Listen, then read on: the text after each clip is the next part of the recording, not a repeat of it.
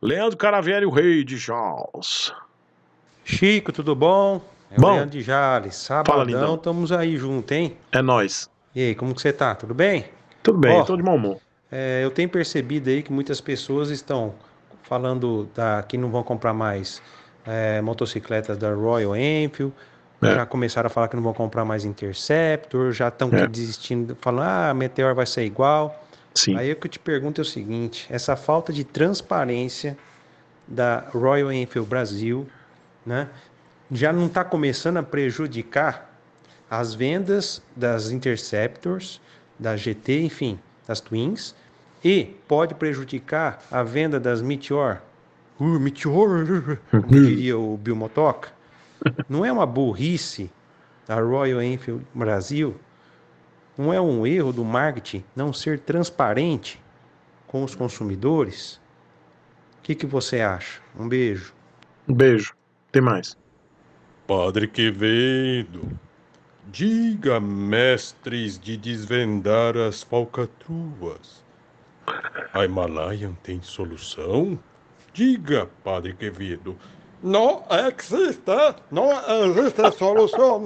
Isso daí não existe. Isto é coisa do demônio. Não existe solução. Não existe. Não existe. O, o rei de Charles, Leandro Caravieri, é o seguinte: a Royal Enfield Brasil não tem marketing. Eles não têm, isso é fato. Não tem marketing. É alguém que fica lá decidindo, algum diretor, o próprio CEO, que diz: não, faz isso, faz aquilo. E o CEO, a gente sabe que ele vendia boi ou vendia soja. Moto ele não sabe vender. Até vende, mas não sabe fazer o pós-venda. O pós-venda, oh meu Deus, esse povo não sabe lidar com isso. Vende, vende até bem. O, o- o comercial da Royal, o pessoal de vendas é bom, mas eles não sabem tentar gerir crise. Aí é melhor vender boi ou vender soja. Então, não sabendo que não tem marketing, a gente sabe que a Royal é um caminhão de cebola desgovernado, né? Com aquela folga na direção. Desgovernado com folga na direção, quem é que vai? Quem vai nos socorrer? A justiça. Então, a Royal, ela sim, a gente só vai ter noção da, do quão prejudicial eh, está sendo para as Interceptor na próxima, no fechamento eh, do próximo do- da FenaBrave, dos emplacamentos de março e abril. Eu acho que março e abril dá para a gente ter uma temperatura, então acho que até maio a gente vai ter uma ideia do impacto que pode ter causado todo esse reboliço aí de pré-ignição, Himalaia, porque eu comecei a perceber que sim, está tendo um movimento de desistência de pessoas de comprar Interceptor. Então acho que a gente vai entender como é que está essa situação no desempenho de placamentos de abril e maio. Então a gente tem que esperar.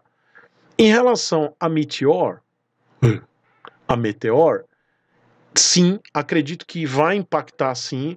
Há, uma, há uma, uma expectativa muito grande na chegada dessas motos, positiva, mas toda essa incompetência da Royal Enfield Brasil e negligência em solucionar e dar resposta aos clientes proprietários de Himalaia e de proprietários de Interceptor que estão alegando problemas de pré- pré-ignição e a Royal simplesmente não responde, não dá um, um feedback para os seus clientes e se faz de surda e muda, isso gera um- uma visão negativa de novos clientes que pretendem comprar a Meteor 350.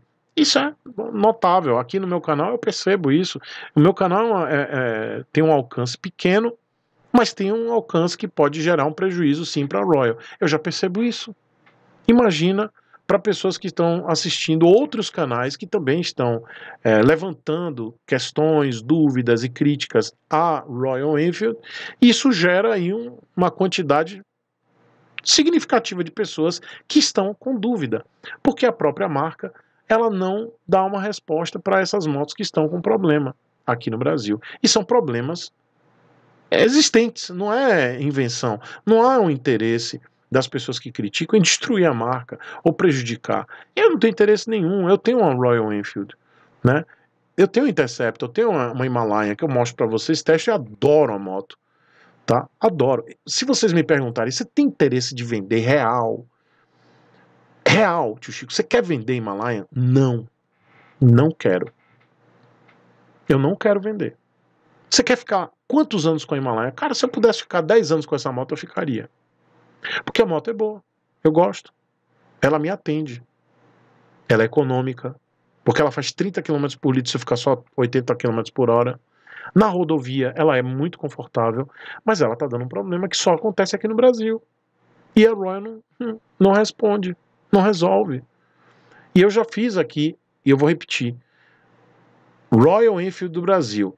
Se vocês resolverem o problema dessa moto, se quiserem pegar minha moto como teste para vocês pegarem, avaliarem, tá aqui minha moto, peguem, venham, mandam um, um, um, uma cegonha, vocês levam quando vocês quiserem. Minha moto está aqui à disposição de vocês. E eu garanto, resolvendo o meu problema e fazendo um recall, chamando todo mundo para poder resolver, mesmo que seja escalonado, que demore, mas que todos se sintam tranquilos de resolver o problema da Himalaia, eu estou me colocando à disposição para fechar um contrato de um ano com vocês para ser divulgador da marca, sem cobrar um centavo. Para viajar com a minha Himalaia o Brasil inteiro, sem cobrar um centavo para a Royal Enfield Brasil. Por mais que a Royal Enfield tenha birra comigo, Royal Enfield Brasil tenha birra comigo me acha um cara, um detrator, na realidade eu estou tentando ajudar a marca. E eu não estou sendo um detrator. Na realidade eu sou um detrator, mas um detrator inventando uma mentira. Tanto que a Royal nunca me processou. Nem pode me processar, porque eu não estou falando mentira. Eu estou falando verdade. Eu posso não estar falando especificamente o problema técnico.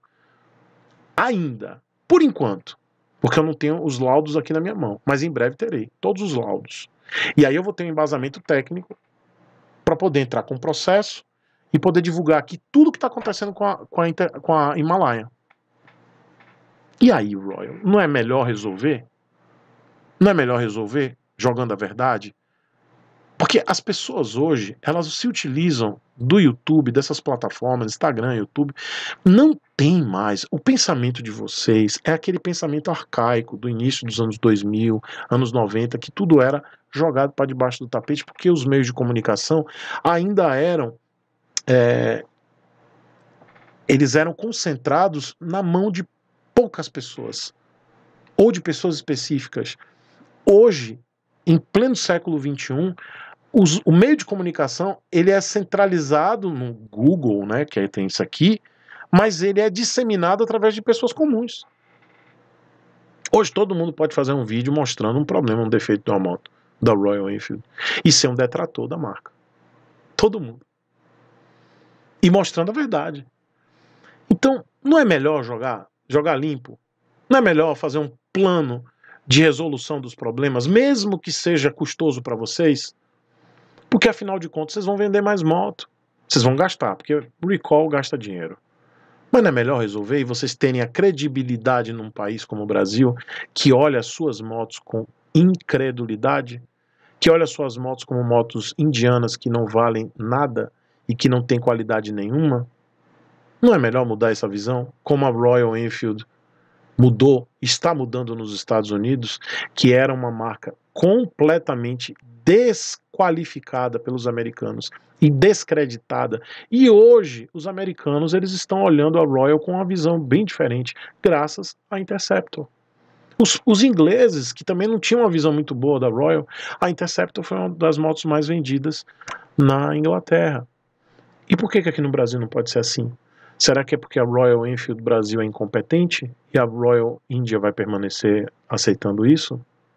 Ou será que a Royal India não tem interesse no mercado de 209 milhões de habitantes?